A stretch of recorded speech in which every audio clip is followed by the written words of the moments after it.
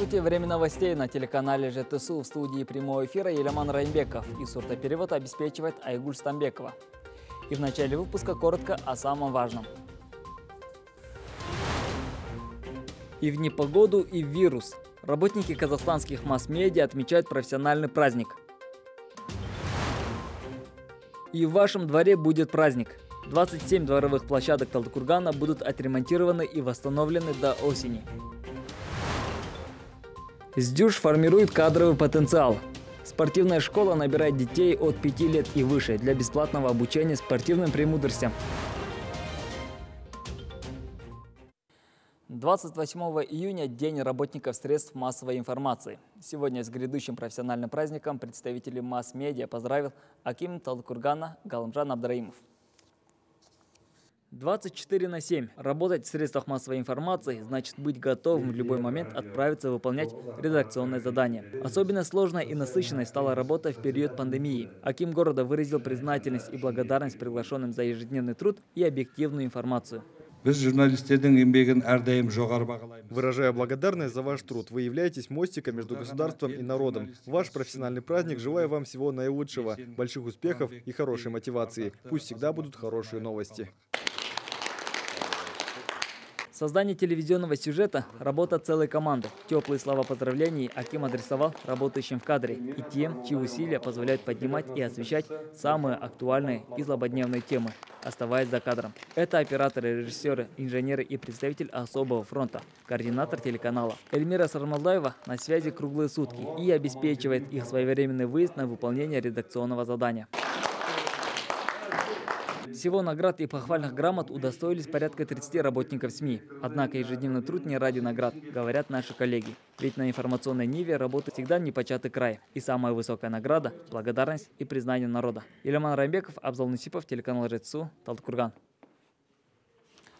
Профессиональный праздник 28 июня отметят и пресс-секретари. Сегодня это весьма популярная должность как в частных структурах, так и в государственных органах. Их работа подчас незаметна, но именно они несут информацию, формируют идеологию и имидж своей организации. Нурит Джанов, пресс-секретарь и советник Акима города. Приступив к работе сравнительно недавно, в сентябре прошлого года, он стал довольно узнаваем – во многом благодаря своей активной работе не только со СМИ, но и населением посредством социальных сетей. Главная фишка – обратная связь, говорит Нур, который вывел уровень взаимодействия на довольно высокую ступень. Я а, публично объявил свой WhatsApp номер, то есть жители города пишут мне напрямую. А, я такой небольшой рекорд сделал. За первые две сутки я ответил на 618 вопросов. Для меня такой был а, личный рекорд, я не знаю, это рекорд, может быть, Талдыкурганский или даже по Казахстану, но 618 вопросов, я на каждый вопрос ответил, и причем не раз, а по нескольку раз. И действительно, Нуриджанов активен во всех социальных сетях. Без ответа не оставляет ни одно сообщение или комментарий. И за это пользователи интернет-пространства выражают благодарность за оказанное внимание. И что самое важное, благодаря четко налаженному алгоритму решаются затрагиваемые проблемы местных жителей. Чтобы активизировать этот пункт, он смог объединить руководство города и представителей средств массовой информации во благо процветания областного центра и общества. Нура, я считаю, отличным пресс-секретарем, потому что он не только является мостиком между журналистами и простыми жителями. А вот. Этот человек идет, э, смело идет на контакт с любым. А, он э, очень активен в социальных сетях, э, и не просто активен, он отвечает быстро и оперативно реагирует на все мольбы и требования, где-то даже требования граждан, наших жителей города Талдыкурган. До работы пресс-секретарем порядка 20 лет трудился в банковской сфере и занимался коммерцией, признается Нур. В свои 42 года воспитывает четверых детей. Особая сложность его работы ложится на плечи супруги, ведь работа не прекращается до глубокой ночи. Но она понимает всю важность и дает возможность отдаваться любимому делу. А когда видишь результаты, работа только в радость, делится эмоциями он.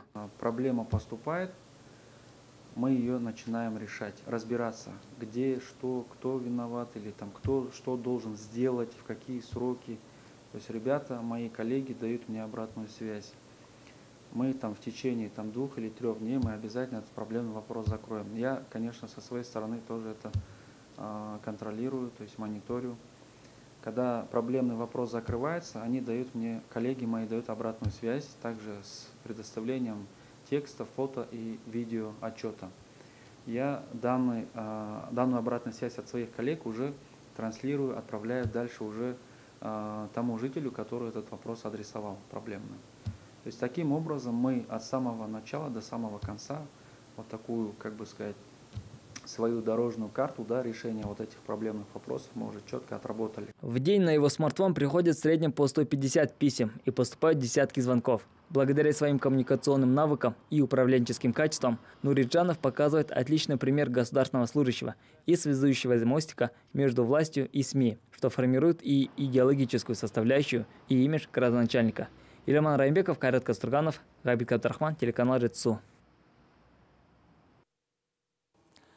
Период пандемии на передовой наравне с врачами и полицейскими находятся журналисты. Несмотря на реальную опасность подхватить смертоносный вирус, корреспонденты печатных и электронных СМИ ежедневно выполняют редакционные задания и доносят до граждан самые свежие новости. В преддверии профессионального праздника наш корреспондент Тамир Анитов расскажет о работе журналистов и блогеров в период пандемии COVID-19. В любую погоду и время суток Таков девиз корреспондентов новостной редакции телеканала ЖТСУ. Ежедневно порядка 20 журналистов освещают самые важные события области. И даже сегодня, в условиях введенного усиленного карантина, когда вся страна находится на самоизоляции, мы продолжаем работать. А, в данный момент все мероприятия отменены. И на самом деле бывает такое часто, что дефицит тем, но в то же время мы все равно ищем темы, именно конкретные, связанные с COVID-19. А, я и мои коллеги стараемся а, освещать а, жизнь области. И действительно немного страшно работать, потому что коронавирус сейчас везде, и он не щадит ни журналистов, вообще никого. Но мы, конечно, соблюдаем санитарные меры. Мы работаем в режиме нон-стоп и в праздники, и в выходные, и, и в ночное время суток бывает работаем. Я думаю, то, что наша цель – это своевременно подать информацию зрителям. Журналисты региона всегда там, где кипит работа. Кроме тем о карантине, ставшей уже привычной о COVID-19, вестники новостей сообщают населению обо всех программах, реализуемых в стране и области, проблемах и радостях жителей региона. Э, в условиях пандемии нам пришлось работать э, в совершенно другом формате.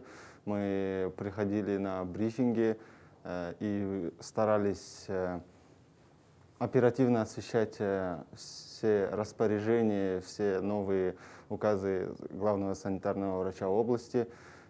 В основном на брифинги и на мероприятия э, ходили молодые специалисты, так как э, представители старшего поколения находились в группе риска, но на рабочий процесс это никак не влияло. Все газеты, номера, все новости выходили вовремя.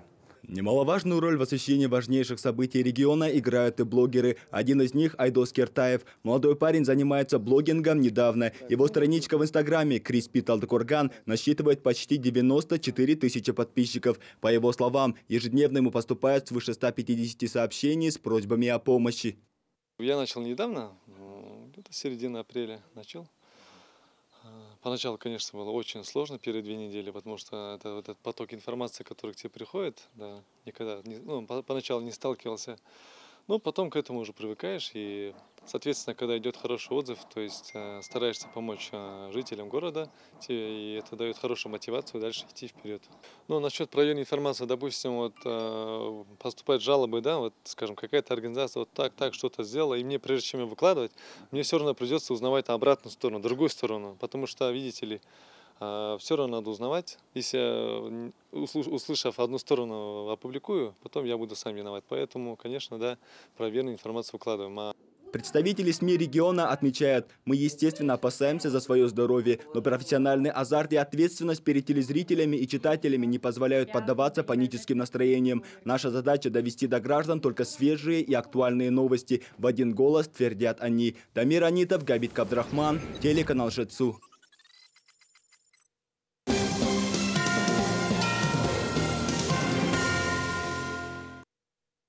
Нехватка ПЦР-тестов в Казахстане возникла из-за проблем с логистикой. Об этом заявил генеральный директор корейской клиники Мин Хисук. Именно они поставляют наборы для исследований в нашу страну. Ранее между Казахстаном и Кореей осуществлялся всего один рейс в неделю. После доставку оборудования и материалов осуществляли через Катар. Но из-за вспышки коронавируса работу аэропорта Дохи пришлось приостановить. По этой причине затянулся процесс транспортировки грузов. В ближайшее время стороны планируют наладить прямые авиаперевозки между Казахстаном и Кореей. Брат погиб, спасая сестренку. Трагедия, унесшая жизнь подростка, следствие халатности, считают общественники. По их мнению, виновато не только предприятие тепловодоснабжения, но и их руководство. Многие считают, что коммунальные службы халатно относятся к своей работе. Все произошло на участке вдоль трассы Жесказган-Сатпаев, где в котловане, заполненном водой, лежала труба. По ней шли дети. Девочка не удержалась и упала. Ее брат, не раздумывая, прыгнул вслед, чтобы спасти но, к сожалению, самому 14-летнему подростку выбраться не удалось. Чуть позже его тело из воды достали спасатели. Водопровод находится на балансе отдела ЖКХ, автомобильных дорог и общественного транспорта города. И при производстве работ вода с этой ямы не откачивалась. Ограждения, как можно наблюдать, никакие не выставлялись. Предупреждающих знаков не было. В полиции завели уголовное дело. Начато досудебное расследование. В прошлом месяце в Казахстане сразу на треть выросли безналичные платежи. Сумма превысила 2 триллиона тенге. В Ассоциации финансистов Казахстана отмечают, что это рекордный показатель за всю историю. Больше всего безналичных платежей было совершено в Алматы. В тройке лидеров также Нурсултан и Шимкент. Всплеск объясняет неотложенным спросом на приобретение товаров и услуг из-за массового закрытия в апреле торговых сетей, бизнес-центров и других объектов. Еще одна причина – стремление казахстанцев сократить наличные расчеты из-за риска заражения коронавирусом. К другим темам. Новая детская площадка, асфальт, цветы и деревья. В Талдыкургане в этом году 27 дворов обретут новый облик. Не ремонтировавшиеся долгие годы объекты пройдут масштабную реконструкцию. Стоит отметить, что 14 дворов благоустроят в рамках государственной программы «Дорожная карта занятости». Площадка во дворе дома рядом с университетом имени Ильяса Жансугурова построена тогда же, когда дом проходил реконструкцию, около 20 лет назад. За это время разрушился асфальт на тротуарных дорожках, скамейки и жили свой срок, а детская площадка запустела. Теперь это все будет в прошлом. Благодаря программе «Дорожная карта занятости» двор обретет новый облик.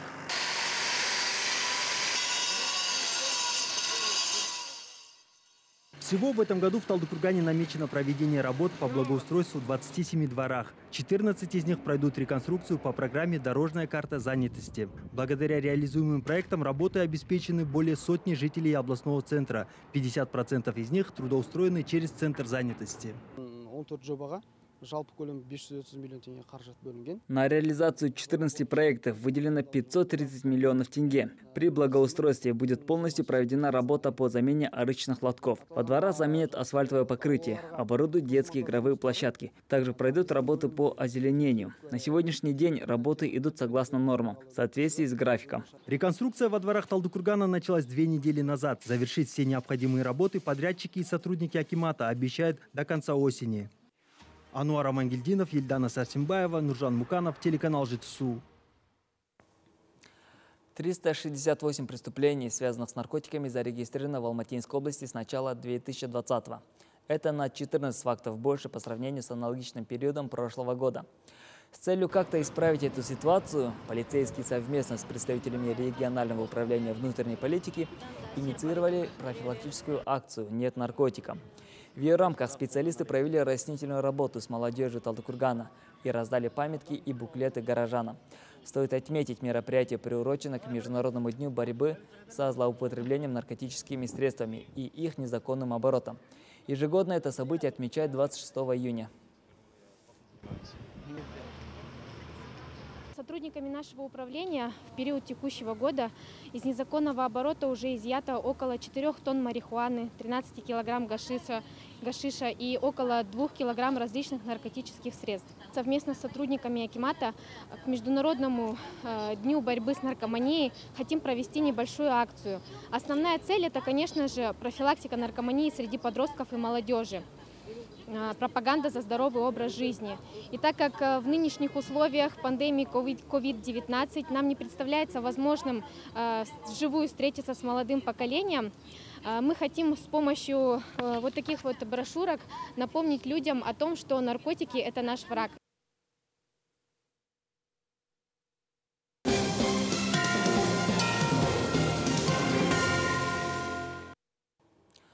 Около 50 счастливчиков присутствовали в четверг утром при открытии Эйфелевой башни. Самая посещаемая достопримечательность не только в Париже, но и в мире оставалась недоступной в течение трех месяцев. Пока были открыты лишь два первых этажа. Чтобы добраться до них, посетители должны преодолеть 700 ступенек. Отныне все гости Эйфелевой башни от 11 лет будут носить маски. Лифт заработает 1 июля, а крайняя площадка на высоте в 324 метра 15 июля. Строгие меры не отвратили самых горячих поклонников Железной башни. 700 билетов вчера разлетелись, как горячие пирожки. Одноразовые маски и перчатки призваны помочь в борьбе с распространением коронавируса. Но оставляемые где попало они теперь представляют угрозу для окружающей среды и могут привести к повышению уровня загрязнения океана. На юге Англии отряды добровольцев пытаются предотвратить нежелательный сценарий. Каждую неделю они выходят на очистку пляжей Брайтона, которые до последнего времени считались одними из чистейших в мире. Дополним, средства индивидуальной защиты стали и неотъемлемой частью мусора, остающегося от пикников. В Соединенных Штатах резкое обострение эпидемиологической ситуации. В четверг, по данным, было выявлено более 45 тысяч новых случаев. Примерно столько же, сколько появилось на пике эпидемии в апреле. Среди штатов, где обстановка наиболее сложная – Техас, Калифорния и Флорида. Там регистрируют рекордные темпы прироста заболевших. В Техасе, где в ближайшие дни планировали возобновить работу большинства компаний и предприятий, решили пока продлить изоляцию. Власти Нью-Йорка вводят обязательный карантин для прибывающих из этих регионов. Власти мегаполиса решили отменить и знаменитый Нью-Йоркский марафон, провести который планировалось 1 ноября.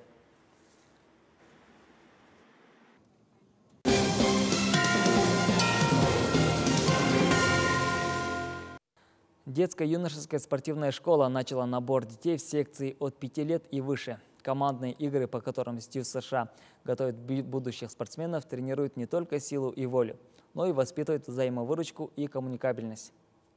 Специализированная детская юношеская спортивная школа культивирует пять игровых видов спорта. Это баскетбол, большой теннис, пляжный волейбол и футбол, классический футбол. Главное предназначение спортивного учреждения – воспитать и взрастить будущих спортсменов, которые представят область уже на профессиональном уровне. В пример можно привести две баскетбольные сборные Алматинской области. Тяжело идет работа в условиях пандемии. Э, набор детей сейчас открытый у нас, мы до сих пор набираем. Не только футбол, и все виды спорта у нас. И теннис открытый сейчас на улице тренируется. А теннисный центр, вы сами знаете. А пляжный волейбол, а, они у нас расположены в Илийском районе и здесь, э, в Жастаре, есть э, поле пляжного волейбола. Также у нас э, баскетбол, но они все во дворах тренируются. Летом мы играем в стритбол. Баскетбол 3 на 3 называется.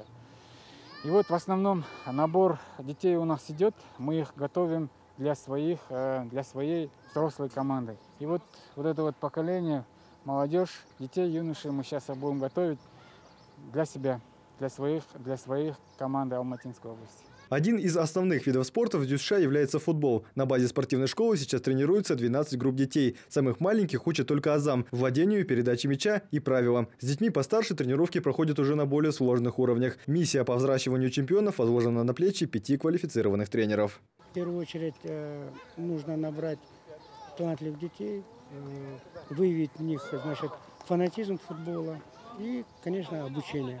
Обучение мы начали с элементарно, от простого к сложному. Это, наверное, э, в первую очередь мы э, чувство мяча. Чувство мяча. И начали перед каждой тренировкой мы разрабатываем тренировочку в зависимости от того, какой набор, какая группа. Есть ребята неплохие, есть ребята, которых надо то, что у них внутри заложены их таланты, их надо, значит, э, выдавить. Вот. И каждый ребенок находится под контролем, мы начинаем, значит, э, в зависимости от готовности групп, мы уже э, подбираем упражнения, чтобы она была совершенствована. Напомню, в секции по футболу идет активный набор детей на бесплатной основе. Записаться можно, обратившись к администрации спортивного учреждения. Их контактные данные можно найти на сайте Управления физической культуры и спорта Алматинской области. Сейчас, в период пандемии, занятия будут проводиться на открытом воздухе. Таково требование санитарных врачей. В зал дети перейдут с наступлением холодов. Алексей Цой, Нуржан Муканов, телеканал ЖТСУ. На этом я ставлю точку. Это были все события к этому часу. До скорых встреч. До свидания.